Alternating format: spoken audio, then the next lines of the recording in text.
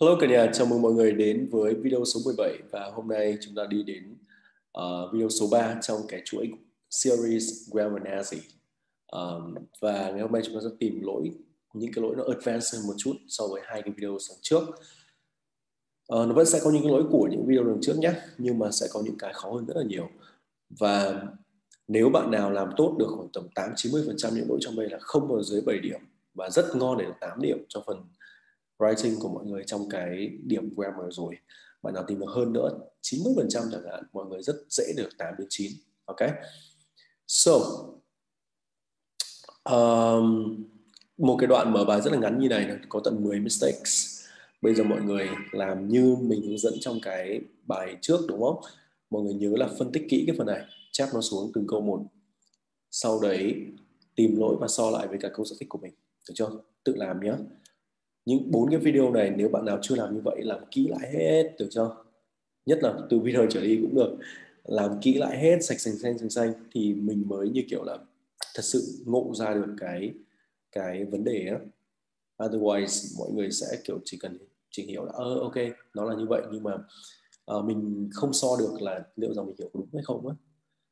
Uh, mình có dạy rất nhiều bạn khoảng tầm 6.5 chẳng hạn thì vẫn chỉ tìm khoảng 5 70 phần trăm 5 60 phần trăm vậy thôi bạn nào tìm được đến 7 80 phần trăm mà chắc chắn không bao giờ 7 thậm chí có thể 8 rất là dễ cho cái phần grammar của mọi người ok so mình sẽ bắt đầu giải thích luôn nha Uh, government around the world justifiably focuses their resources on education of younger generations.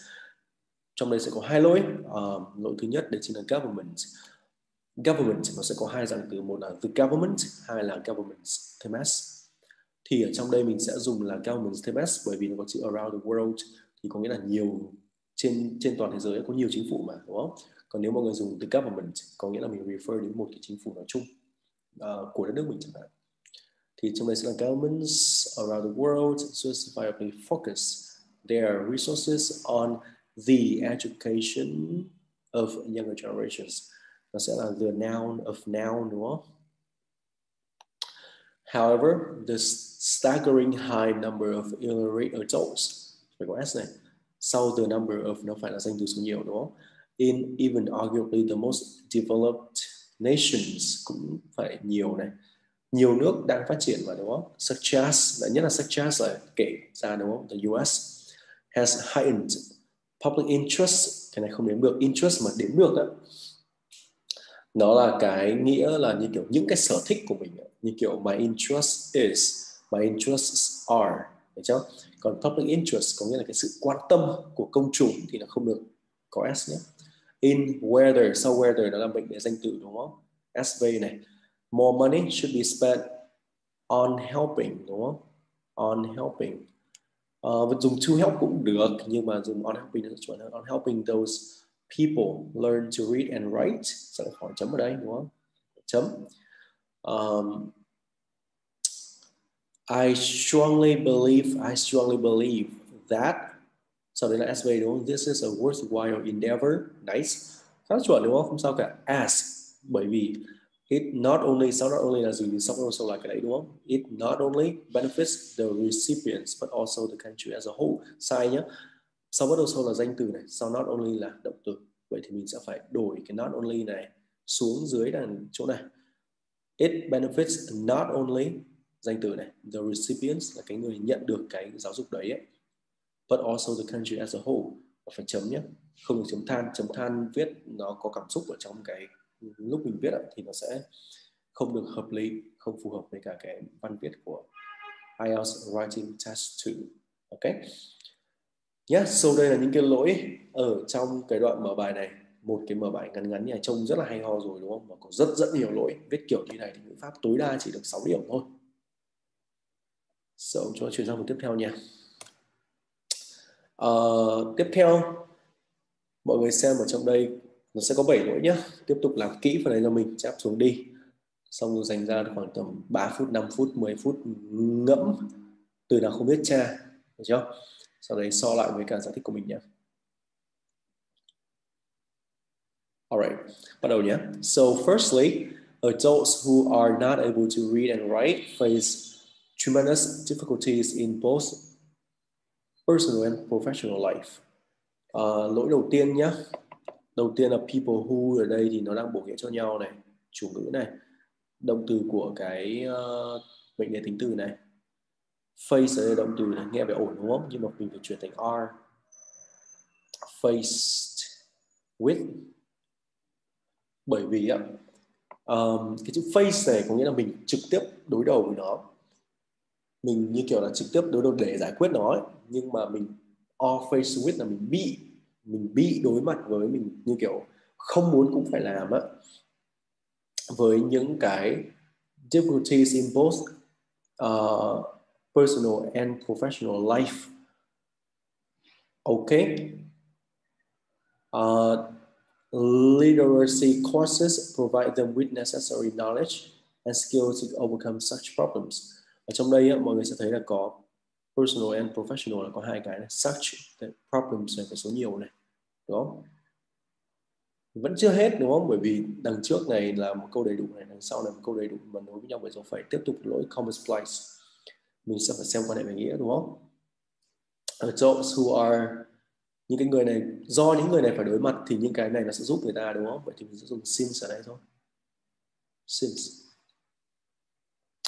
For example, uh, participants of these classes no longer feel helpless when they need to read a piece of a story. This is a piece of story, một cái mảnh uh, chuyện nhỏ, đúng không? For their children before bed, or write an email for their friends. Cho nên ít nhất phải có S rồi, nhiều bạn mà. Nhưng mà write an email for ấy, có nghĩa là viết hộ. Còn write an email to có nghĩa là viết cho người đấy. Đúng không? Vẫn chưa hết nghĩa vẫn chưa hết lỗi đâu. Ở trong đây no longer feel á thì mình phải dùng là will no longer feel bởi vì cái này đã diễn ra đâu. Đúng không? Will no longer feel ok sim skip. Đó đây là tất cả những cái lỗi ở trong đây rồi. Các bạn tìm ổn không? Nếu bạn nào mà không tìm ra lỗi này này và cái lỗi này này thì cũng không sao lắm. Đây là hai cái lỗi mà tương đối advanced 8 điểm trở lên thì mới kiểu nhận ra được nó bởi vì nó tương đối là subtle nghĩa của nó tương đối là kiểu kiểu um, chi tiết. Và kiểu um, subtle thì cái tiếng việt là gì ta? Uh, anyway uh, nghĩa của nó kiểu mỹ miều hơn á. So chuẩn nghĩa hơn. Uh, hai câu tiếp theo này sẽ có ba lỗi mọi người tìm nha. Làm từ từ nhá chép xuống viết đi đừng lười. Sau đấy nghe mình giải thích sau được chưa? So similarly they are no longer deprived of promotion opportunities at work solely on the basis of their literacy skills or the lack thereof uh, chỗ này sẽ là they will no longer be đúng không cũng chưa diễn ra này hypothetical situation they will no longer be deprived of uh, promotion opportunities at work solely on the basis of their literacy skills or the lack thereof. The, cái cách nếu bạn nào biết dùng cái này thì cũng khá là hay nhé. Luôn luôn dùng là or the lack thereof. Có nghĩa là uh, bởi vì cái kỹ năng này hoặc chính xác hơn là cái sự thiếu của những cái này. Ví dụ như kiểu education or the lack thereof is the root cause of crime.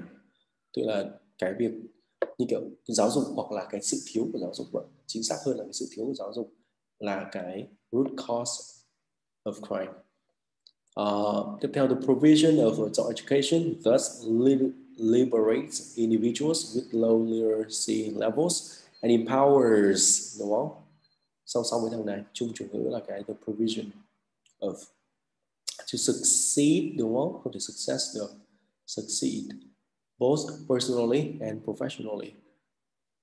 Empower somebody to do something mà đúng không thì phải động từ động từ succeed không phải success. Alright thế thôi tiếp nha đoạn này sẽ có bốn cái. Um, làm kỹ cho mình nha. Làm kỹ cho các bạn không phải cho mình. Sâu so, chép nó xuống sau rồi sau đó um, xác định lỗi nha. Lỗi ở đây khó một tẹo. Alright, chuyển luôn nhé. Uh, besides this, countries decide to invest more in adult education also reap financial rewards.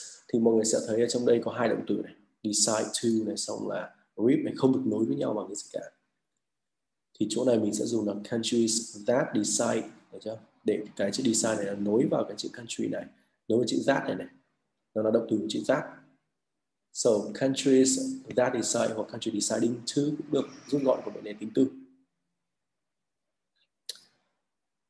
this is because sau đấy sẽ là một chủ vị đầy đủ đúng không? A better educated workforce can act as a precursor to uh, đóng vai trò như một cái xúc tác cho cái việc gì đó. Nên chỗ này nó phải là verb in cho cái việc um, mang lại xây dựng cái cái uh, phát triển kinh tế đó. Thì nó phải là in nhá. Uh, as seen in Vietnam where là phải phẩy tiếp đúng không? Việt Nam biết rồi mà nơi mà a causal link causal là cái mối quan hệ nguyên nhân kết quả ấy. cái mối quan hệ nguyên nhân kết quả cái kết nối nguyên nhân kết quả uh, between the crusade to eradicate illiteracy in the 1980s phải có S nhé? Những năm 80 nhiều mà. And economic development was found. Ok so một lỗi này hai lỗi này ba lỗi này bốn lỗi này. Ok. Tiếp nha. Chỉ có bốn lỗi thôi. Cả nhà tiếp tục làm kỹ nha. Đừng vội. Ok. Pause lại pause cái video lại nha. Okay, so furthermore, literate parents are repeatedly found to be better at rearing their children. Okay, invest in xong will chứng tỏ đây là chủ ngữ chủ ngữ thì mình phải là investing đúng không? Mọi người có nhớ cái biến in biến động từ thành danh từ đúng không? Để làm chủ ngữ mình thêm in vào. À, đây là danh động từ nha. Will produce better raise children. Tiếp tục là không được nối với nhau này đúng không? Bởi vì tiếp uh, so ở đấy do đó cái lỗi kiểu không nối với nhau như này cực kỳ nhiều luôn ạ the corollary kết quả kết quả tất yếu. The corollary of this investment would be the sustainable economy and better society. Mình đâu biết cái sustainable economy nào đâu đúng không? Phải là a, a sustainable economy and a better society. Okay. một lỗi này hai lỗi này ba này bốn này. Ok tiếp nha nốt ba lỗi cuối cùng cả nhà làm từ từ nha chép xuống đi so, in conclusion, giving access to education for illiterate adults are a sensible and economically sound initiative. Are làm sao được, đúng không? Là is bởi vì đằng trước này nó là giving access đúng không? Danh động từ đằng sau nó phải là is. Uh, and therefore should be more widely be adopted uh-huh. nó sẽ là should be more widely be adopted là sao đúng không? Should more widely be adopted được được thu nhận được sử dụng đúng không? Nhưng mà more widely be không ổn lắm. Should be adopted more widely thì nó ok nha Ok, so mọi người sẽ thấy là bài này sẽ khó hơn một chút ở cái chỗ là thứ tự từ trong câu, thứ tự trạng từ trong câu phải chọn này. Um, cái nối câu phải chuẩn hơn nữa này. Uh, ơ ân dơ này. Đấy, ân dơ nó phải chuẩn hơn này. Ngoài ra cái nhiều động từ trong một câu thì phải nối vào bằng that, which các kiểu này ở những cái cụ bắt buộc ví dụ mặc dù có to như vậy nhưng vẫn phải là verb in này. Đó the những cái năm 80 là phải có s này. Và ngoài ra trong đây có những cái khó hơn như kiểu là về nghĩa như kiểu không phải là đang đang không đúng không? Mà sẽ phải là sẽ không. Nó phải tinh tế hơn một chút trong quá trình mình viết. Đó đấy thế này. Will no longer be no uh, will no longer feel các kiểu này. All right, so yeah, that's it for our lesson today. I'll see you guys in our last video. It is really grammar Nazi at its best. bài sau sẽ còn khó hơn rất là nhiều ok so bye bye cả nhà